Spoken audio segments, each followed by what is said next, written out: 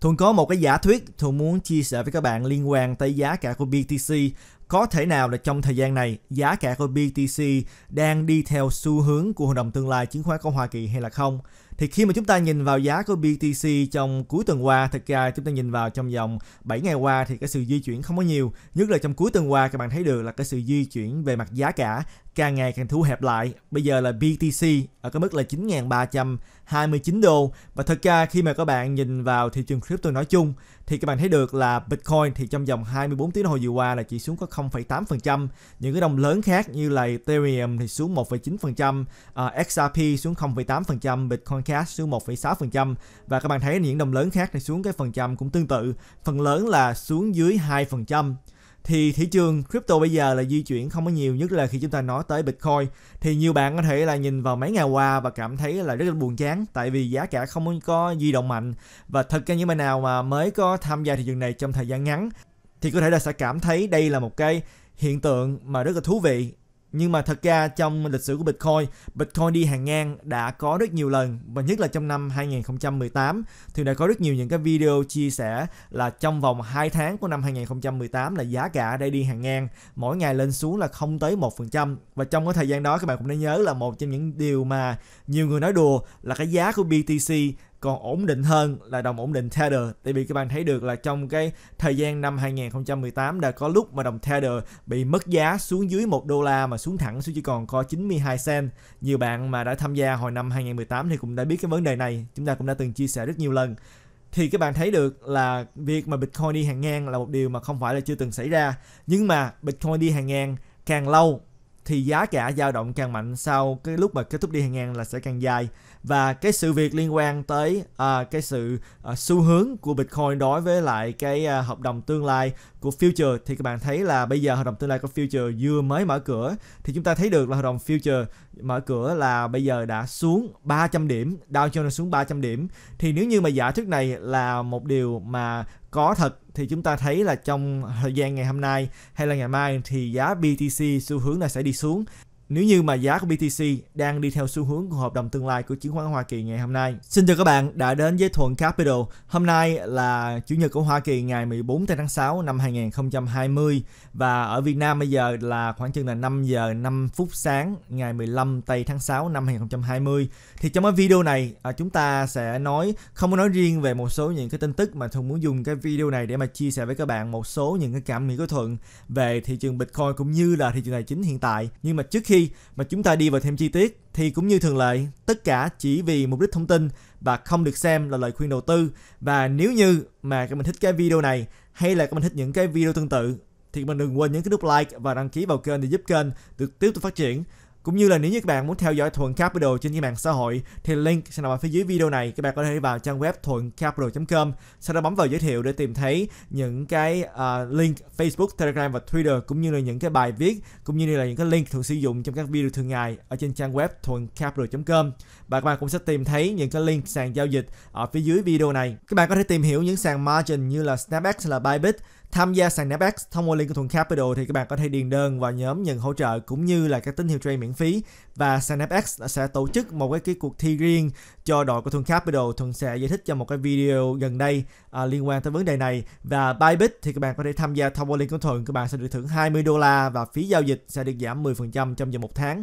Đương nhiên trade margin cũng nguy hiểm cao à, cho nên không phù hợp với những bạn mới chỉ thích hợp cho những bạn nào mà có kinh nghiệm trading còn sàn Binance thì bạn có thể được giảm 10% nếu như mà đăng ký tham qua link của Thuận. Và nếu như các bạn ở Hoa Kỳ thì có thể tham gia sàn Coinbase. Thì các bạn thấy được là tin tức mới nhất của thị trường tài chính đó chính là các chỉ số hội đồng tương lai à, đã đi xuống. Chỉ số Dow Jones hội đồng tương lai đã xuống 300 điểm và chỉ số của S&P 500 và Nasdaq hội đồng tương lai cũng đã xuống khoảng chừng là 1,3%. Cho mỗi một chỉ số thì chúng ta sẽ tiếp tục theo dõi coi coi là ngày hôm nay giá BTC có đi xuống theo hay là không.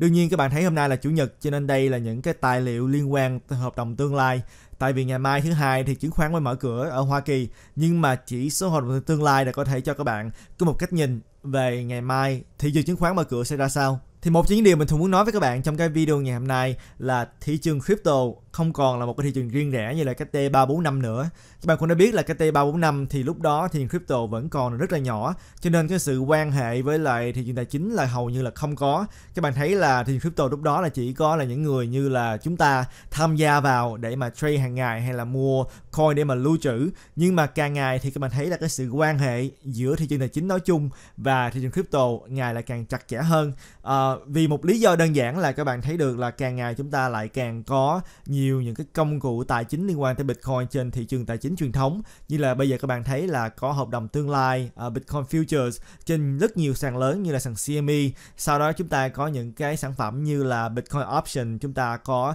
uh, sàn Margin nổi lên khắp nơi. Cho nên bây giờ các bạn thấy là cái sự quan hệ rất là mật thiết. Cộng vào đó là các bạn thấy là có rất nhiều những cái nhà đầu tư truyền thống đã tham gia vào thị trường này rất nhiều những tổ chức đầu tư đã bỏ tiền vào thị trường crypto. Tuy là người ta vẫn đầu tư vào thị trường truyền thống nhiều hơn, chỉ bỏ một ít tiền vào thị trường crypto, nhưng mà các bạn thấy được là một ít tiền đó là một phần lớn đó với thị trường crypto và chúng ta thấy được là cái số tiền là chỉ có một. Cái nguồn tiền mà dùng để mà đầu tư vào bên crypto thì sẽ không được dùng để mà đầu tư vào những cái mảng đầu tư khác. Và ngược lại, cho nên mỗi lần khi mà chúng ta có một cái sự cố mà cái nguồn tiền phải di chuyển thì đương nhiên là sẽ ảnh hưởng đến thị trường crypto. Đây là điều mà thường muốn các bạn hiểu về cái tình hiện tại. Chúng ta không thể chỉ nhìn riêng về thị trường crypto và nhất là chúng ta không thể chỉ nhìn riêng về mặt công nghệ, tại vì các bạn sẽ thấy được là công nghệ bây giờ, đương nhiên vẫn là một cái yếu tố quan trọng, nhưng mà quan trọng hơn hết là cái sự lan tỏa của một cái dự án đó là như thế nào, bao nhiêu người biết tới và được trade trên bao nhiêu sàn, có bao nhiêu công cụ đầu tư của cái đồng đó trên thị trường tài chính truyền thống. Đó mới là một trong những cái điều quan trọng hơn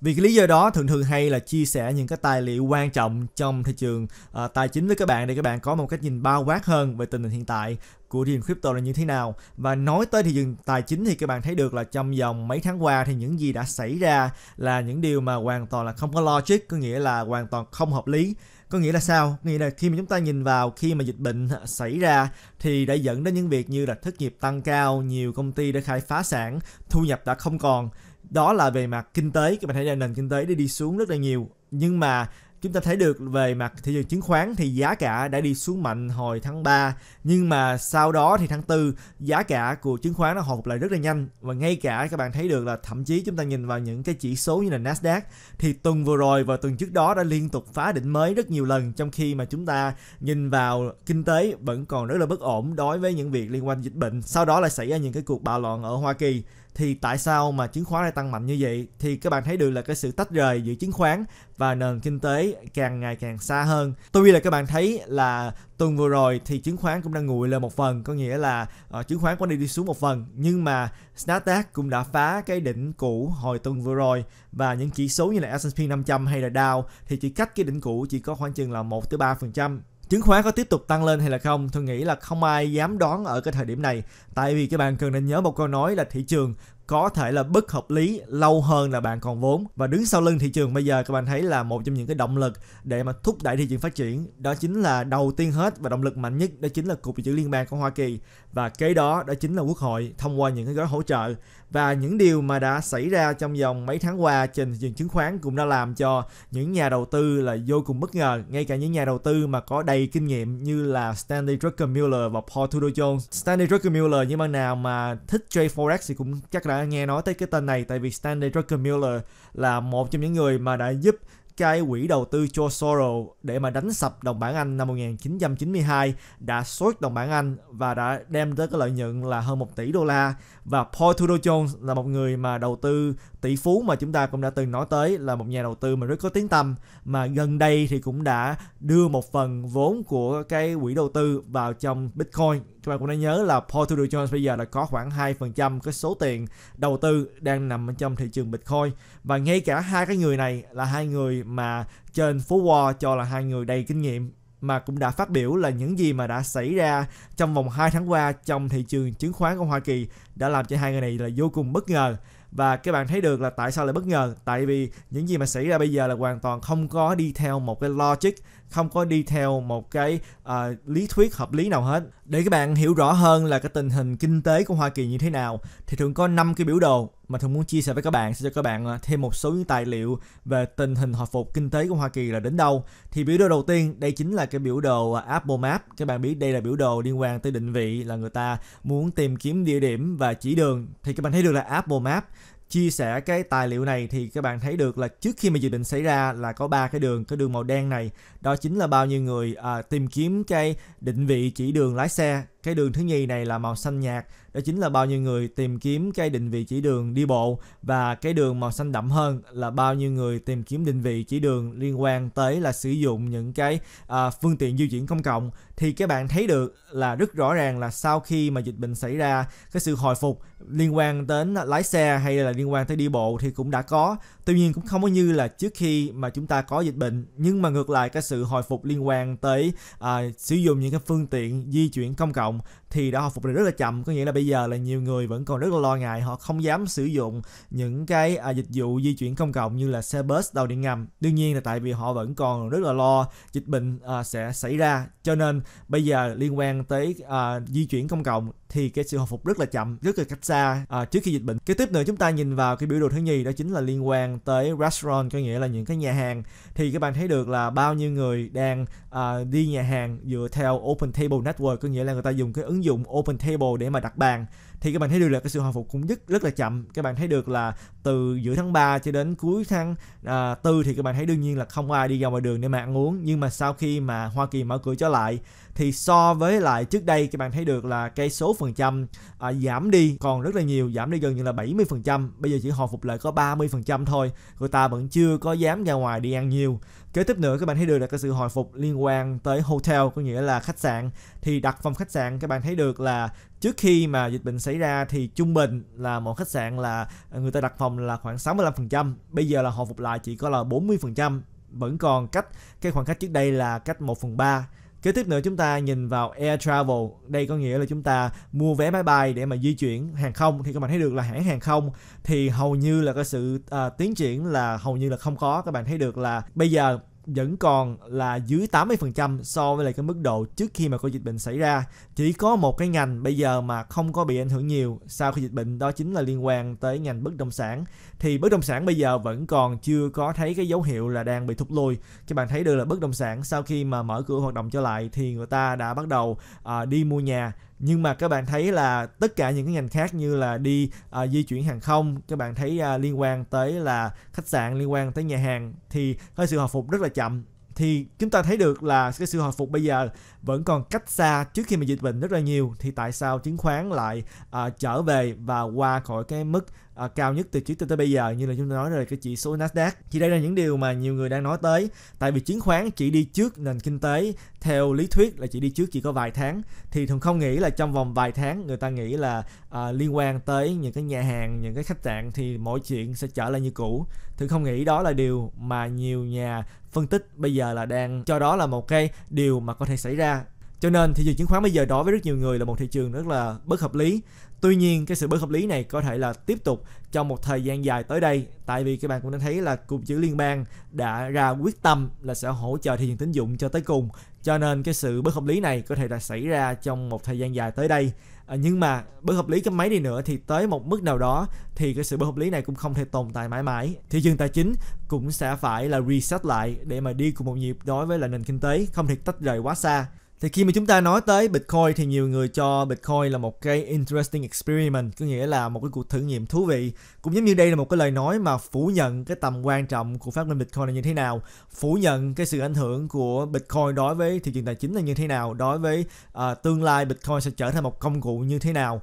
Thì các bạn thấy là Bitcoin có phải là một cái cuộc thử nghiệm hay là không, Bitcoin có giá trị hay không thì mỗi người tôi nghĩ là sẽ tự đưa ra cái câu trả lời cho bản thân mình. Đối với Thuận thì Bitcoin Bitcoin đã sống sót 11 năm và đã bị tấn công rất nhiều lần từ mỗi phía và Bitcoin vẫn sống sót tới ngày hôm nay và cộng đồng cũng như là mạng lưới của Bitcoin thì ngày lại càng phát triển cũng như là các bạn thấy được là cái sự tiến triển của Bitcoin xâm nhập vào thị trường tài chính ngày lại càng lan rộng hơn. Bitcoin cũng giống như là một cái cây mà gốc rễ là mỗi một ngày mà Bitcoin còn sống sót thì cái gốc rễ đó lại càng lớn hơn, mạnh hơn và đi sâu hơn vào trong thị trường tài chính. Đến một lúc nào đó là Bitcoin đã trở thành một cái trụ cột của thị trường tài chính cũng như là vàng cũng như là những cái mảng đầu tư khác. Cho nên đối với Thuận, Bitcoin là một cái phát minh rất là quan trọng đây cũng là một trong những lý do tại sao mà thu có động lực để mà tiếp tục chia sẻ với các bạn hàng ngày về cái sự ảnh hưởng của Bitcoin cũng như là cái sự ảnh hưởng của crypto đối với thị trường tài chính. Và nói tới là một cái cuộc thử nghiệm thú vị thì các bạn thấy được là không có gì mà thử nghiệm nhiều hơn là cái những điều mà chúng ta đã chứng kiến trong vòng mấy tháng qua. Các bạn thấy được là từ khi mà dịch bệnh xảy ra thì cục dự trữ liên bang đã thử nghiệm liên tục bằng cách là liên tục in ra tiền đi theo cái lý thuyết uh, modern monetary theory nghĩa là cái lý thuyết tiền tệ hiện đại. Có nghĩa là cứ in tiền đừng có quan tâm tới uh, là sẽ dẫn đến lạm phát hay là không. Chỉ cần là in ra tiền và có thể là kích thích cái nền kinh tế trở lại cho mọi người có công an việc làm trở lại thì lạm phát sẽ không còn là một cái vấn đề. Đây là một cái cuộc thử nghiệm. Tại vì các bạn thấy được là những gì đã xảy ra trong vòng mấy tháng qua là chúng ta đã trải qua một cái thời kỳ lịch sử ở trong thị trường chứng khoán cái sự lên xuống thì chứng khoán cũng như là những gì mà Fed đã làm là những gì mà Fed chưa có làm trước đây. Ngay cả chúng ta nói tới khủng hoảng tài chính năm 2008 Fed cũng không có bơm tiền vào thị trường mạnh cho tới bây giờ. Ngay cả bây giờ là mua luôn chân bond, nghĩa là những cái trái phiếu mà không có giá trị, Fed cũng mua luôn để mà hỗ trợ thị trường tín dụng. Cũng như là Fed bơm tiền trực tiếp à, vào cho người dân mà cách là thông qua quốc hội. Các bạn cũng đã biết là quốc hội đưa ra những gói hỗ trợ thì Fed sẽ đưa tiền cho quốc hội để mà đưa tiền tới cho người dân đưa tiền trực tiếp đến cho những cái tiểu thương những cái công ty để cho họ tiếp tục phát triển và mua lại những cái cổ phiếu thế chấp bất động sản. Đây là những điều mà các bạn thấy là tất cả đều là một cái thử nghiệm có thành công hay không chúng ta cũng không có biết. Và ngay cái bây giờ là những quốc gia mà đang có cái lãi suất âm. Lãi suất âm cũng là một cái thử nghiệm. Các bạn thấy là lãi suất âm kết quả sẽ như thế nào? Có cái sự ảnh hưởng tốt lâu dài hay không, chúng ta cũng không có biết. Đây hoàn toàn là một cái uh, cuộc thử nghiệm. Và thật ra nhiều người có thể là không nhớ đến cái thị trường tài chính mà chúng ta đang sống bây giờ cũng là một cái thử nghiệm chỉ mới có thời gian là chỉ có 50 năm. Tuy là tiền tệ đã có rất lâu nhưng mà cái lý thuyết mà nhiều ngân hàng trung ương đi theo bây giờ là lý thuyết tiền tệ hiện đại. Đó là một cái lý thuyết mà chỉ mới có tồn tại và chúng ta mới có thực hiện trong vòng có 50 năm qua. Cho nên khi mà một người nào đó nói Bitcoin là một cái thử nghiệm tài chính một cái thử nghiệm cho vui